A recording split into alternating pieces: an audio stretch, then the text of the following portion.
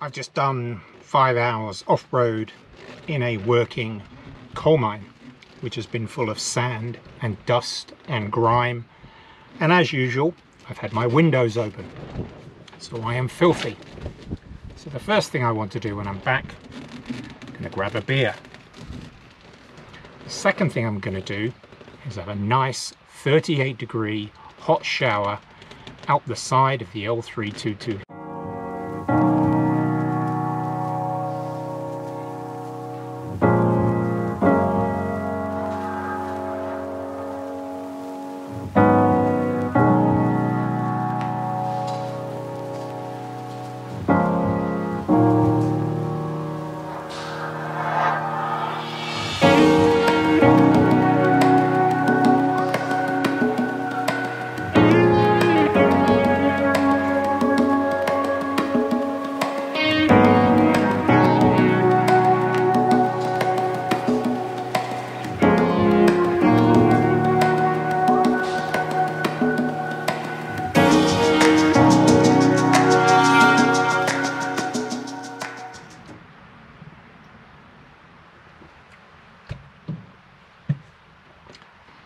Everybody, I'm Mark from Overlanding Forward and welcome back to the channel.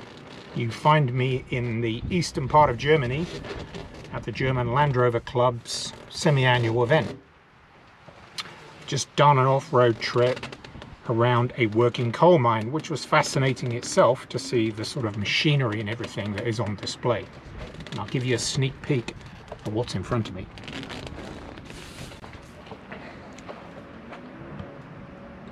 So this was created by the East Germans in the late 80s. It took two years to build. They shipped in a thousand people from Romania and Bulgaria, and it was used for one year, and then German reunification kicked in. And they stopped using it. And since then, it's a tourist attraction. One of the things that I've been trying to do with this overland build is to get a hot water supply into the vehicle. And I tried the road shower probably about this time last year. Great device, bit bulky. The only problem is it only really works when the sun has got on it and it's heated it up. So if you're in temperate climates, there's no already heat going into that cylinder, it doesn't get heated up.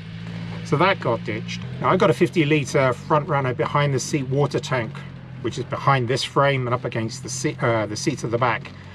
That is cold water. Clearly, you know, I fill it in with a hose, fill it up whenever I go on trips, so when it goes down, I get bottles of water and I just tip them in.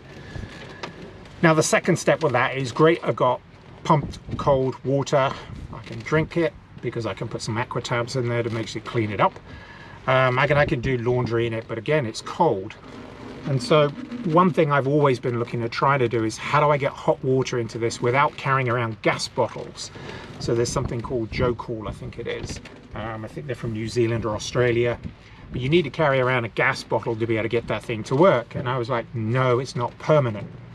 So after a huge amount of research, had to go back to Australia as most of this really good stuff is and I bought two things. One was an Egon water hub and the second one is an Aqueous 6 litre water tank heater. And so by putting it all in the back here, I now have on-demand 38 degree hot water.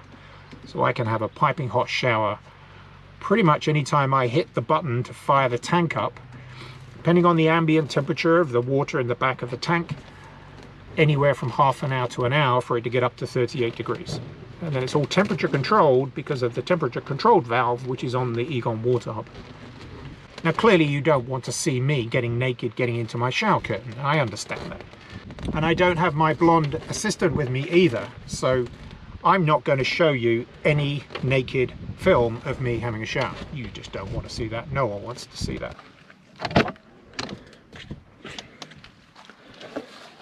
So this is a version 1 box as most of you know, I generally build something, go away, test it, and then come back and say, you know what, I can do better.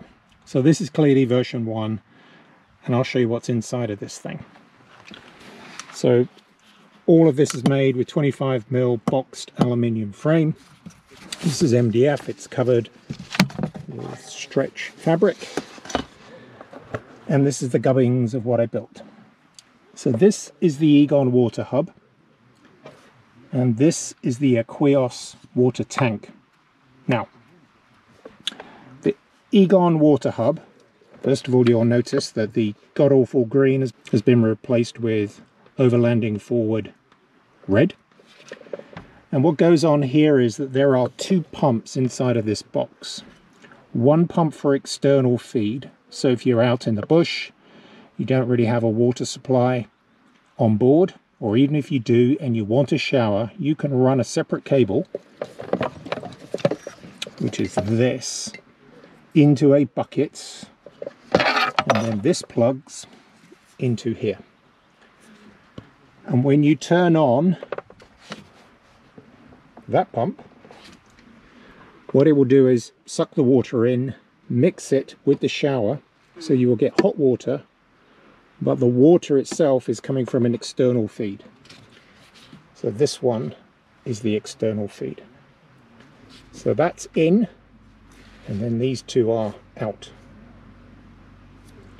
So these quick fit connectors were on the hub, and so I had to take it all off because I needed to run these John Guest fittings, and these are 12 mil John Guest fittings. It's all push fit and you can probably see at the bottom down here there are a number of other ones down here as well.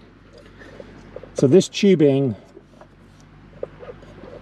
pushes into these connectors. And as you can see the wiring for the pumps goes back to my secondary battery. So all of this is labeled up. So this is external in out to the shower and this is for the tap.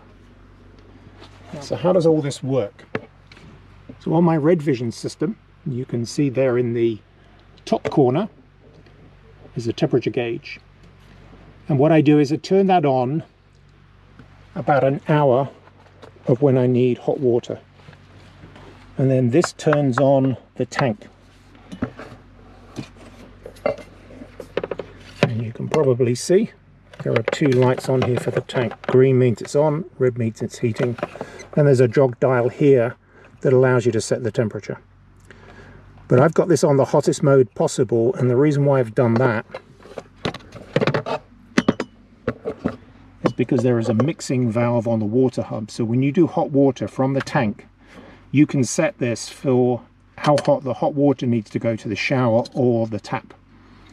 So an hour before I want to shower, I turn on the tank, tank heats up the water. So when I'm ready to have a shower, this connector goes into here. And then I turn on this which is the pump to start pumping the cold water from my tank which is back here which is a 50 litre behind the seat front runner water tank. It's plastic. So the water pumps from here into the heater and then out through the shower head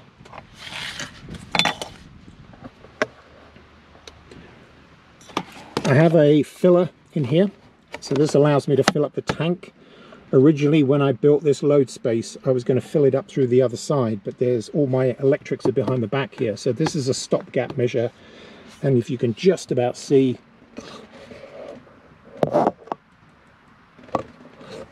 there is a concertina hose that goes from here to the tank. Now a couple of things. The tank itself doesn't have any baffles in it so when it's full, which is, you know, 40, 45 litres, you don't hear a lot of sloshing. When it starts going down to the midpoint, probably about 20 to 25 litres, and you go off-road, as I've just done, you will hear it slosh backwards and forwards, but it sort of calms itself down um, as best it can. I'm trying to figure out a way that I could put some sort of plastic baffles in there to sort of stop it from doing it, but quite honestly, it's not really that much of an annoyance. Now, as I mentioned, this is version one of this frame. There's a few other things that are in here. In here is a four litre air tank. There's my chuck for my air tools and also for my compressor. And clearly when I had this, this is for turning on my chase light.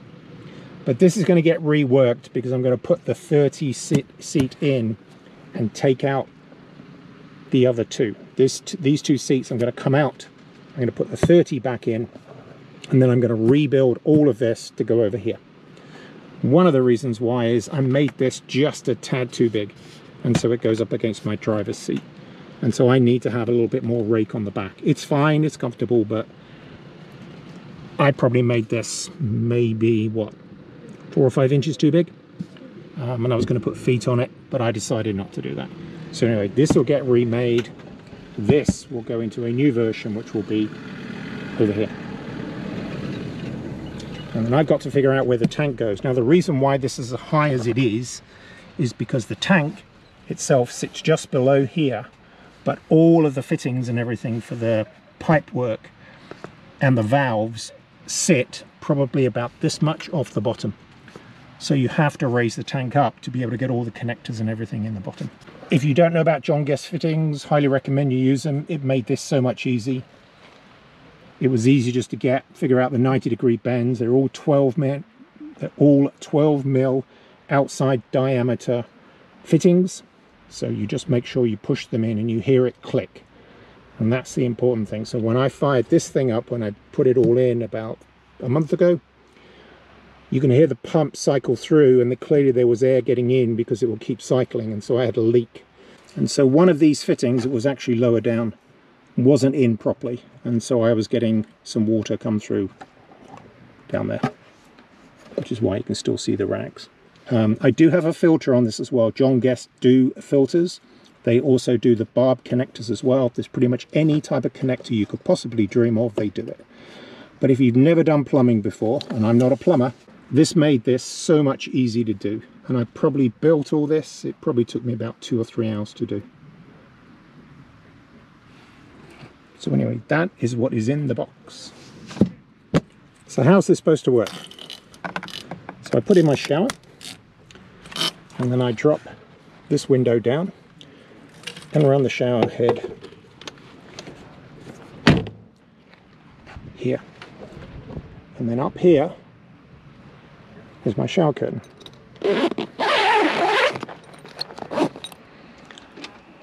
so this is a privacy shower curtain from a company called DFG Off-Road. They're in Jacksonville Florida I believe. I'll put a link in the description.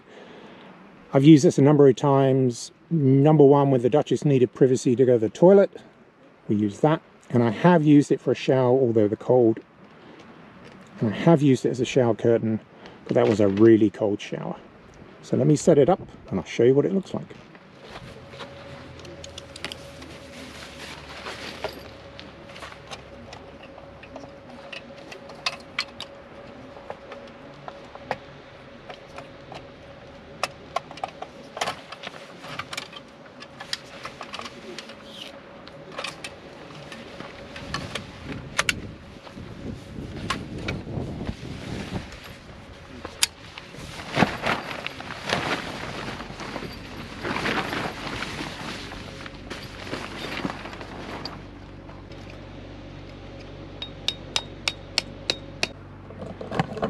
and that's it.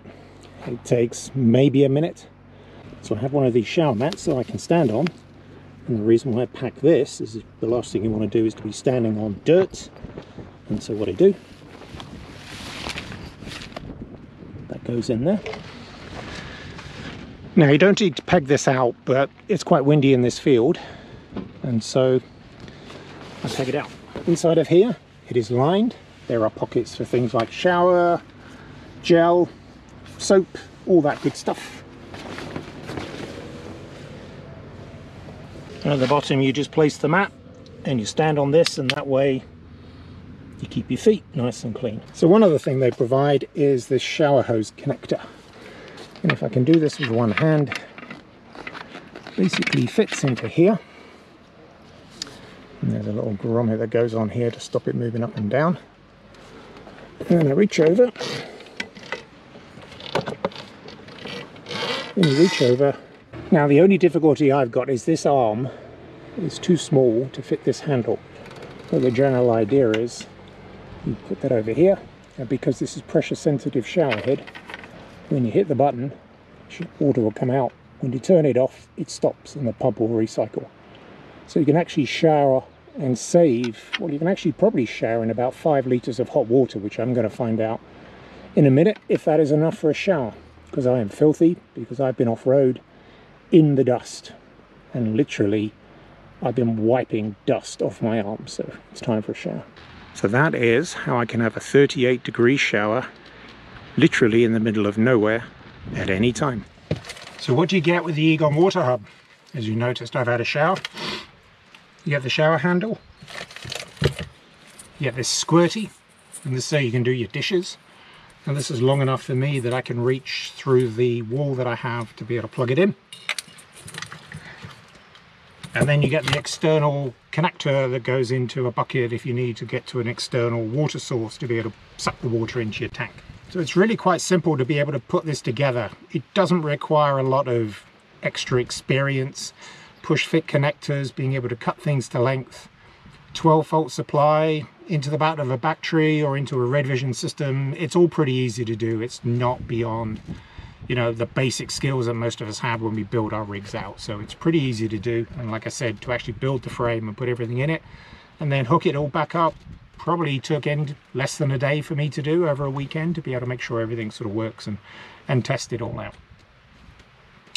So there you go. That is how you install hot water system into your overlanding rig. And I'm pretty sure I'm the only one with a L322 with an onboard water shower system.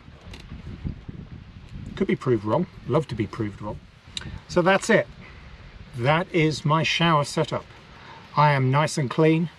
I am nice and relaxed. I'm going to finish my beer. And with that, I'll see you on the next one. Cheers.